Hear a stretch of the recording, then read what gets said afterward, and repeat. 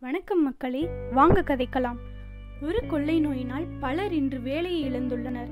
சுமார் முன்னூறு ஆண்டுகளுக்கு முன்பு இதே போன்ற ஒரு கொள்ளை நோயினால் சிலருக்கு வேலை கிடைத்துள்ளது. அதுவும் சாதாரண வேலை அல்ல கொள்ளை நோயை குணப்படுத்தும் மருத்துவ வேலையாகும்.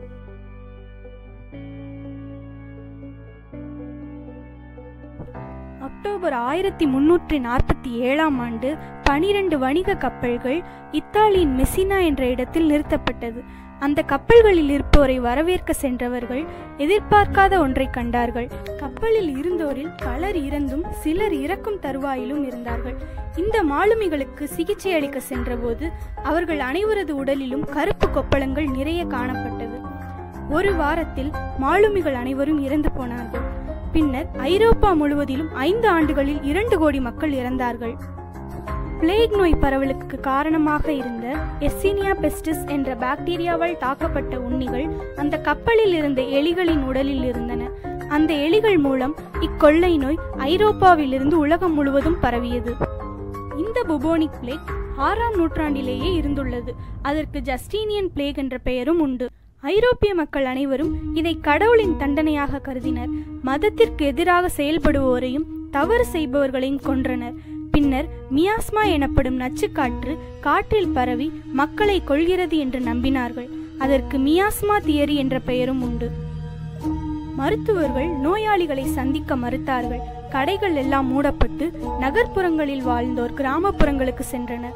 அந்த கிராமங்களையும் இந்நோய் விட்டு வைக்கவில்லை. அங்குள்ள ஆடு மாடு கோழி போன்றவைகளையும் தாக்கியது. அந்த சமயத்தில் பிளேக் டாக்டர்ஸ் என்ற புதிய மருத்துவர்கள் உருவெடுத்தனர். பிளேக் மருத்துவர்கள் பிளேக் நோயால் பாதித்தவர்களை குணப்படுத்த நியமனம் செய்யப்பட்டவர்கள். தொற்று நோய்களின் காலங்களில் இந்த மருத்துவர்கள் குறிப்பாக பிளேக் பாதிப்புக்குள்ளான நகரங்களால் பணியமர்த்தப்பட்டனர்.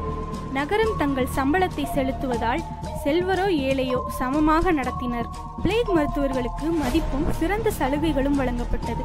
அவர்கள் சுதந்திரமாக பிரேத பரிசோதனை செய்ய அனுமதிக்கப்பட்டனர். அவர்கள் சிறப்பு ஆடை அணிந்திருந்தனர். பதினேழு பதினெட்டு பத்தொன்பதாம் நூற்றாண்டுகளில் சில மருத்துவர்கள் கொக்கு போன்ற முகமூடி அணிந்திருந்தனர். அந்த முகமூடியில் பல துளைகள் இருந்தன. ஆயிரத்தி அறுநூற்றி முப்பதாம் ஆண்டில் சார்லஸ் டி லாம் என்பவரால் கண்டுபிடிக்கப்பட்ட இந்த ஆடை நேப்பிள்ஸில் முதலில் பயன்படுத்தப்பட்டது. பின்னர் ஐரோப்பா முழுவதும் பயன்படுத்தப்பட்டது. பாதுகாப்புக்காக ஒரு விளக்கு மெழுகு துணியால் செய்யப்பட்ட ஓவர் கோட் கண்ணாடி கொண்ட கொக்கு வடிவிலான மாஸ்க் ஆகியவை அந்த ஆடையில் அடங்கும். அந்த மாஸ்கில் மூலிகைகள் வைக்கோல் லவங்கம் புதினா கற்பூரம் கிராம்பு ஜூனிபர் பெரிஸ் போன்றவை அடைக்கப்பட்டிருந்தன. நோயாளிகளுடன் நேரடி தொடர்பு கொள்ளாமல் ஒரு கம்பை கொண்டே பரிசோதித்து வழிநடத்தினர். இந்த மாஸ்க் நோயாளிகளுக்கு சிகிச்சை அளிக்கும் போது மருத்துவரை மியாஸ்மாவிலிருந்து பாதுகாக்கும் என்று நம்பப்பட்டது. இரத்த கசிவு குமிழ்கள் மீது தவளை அட்டை போன்றவற்றை மேய வைத்தல் கொப்பளங்களில் ஊசி கொண்டு குத்துவது போன்ற முறைகளை கையாண்டனர். நம் உடலில் உள்ள நிலம் நீர் காற்று நெருப்பு இந்த நான்கு எலமெண்ட்ஸும் சமமாக இருந்தால்தான் நம் உடல் ஆரோக்கியமாக இருக்கும். பிளட் லெட்டிங் அதாவது இரத்த கசிவு அந்த நான்கு எலமெண்ட்டையும் சமமாக்கும் என நம்பினர். ஆனால் இந்த முறைகள் எதுவும் சரியான முடிவை அளிக்கவில்லை.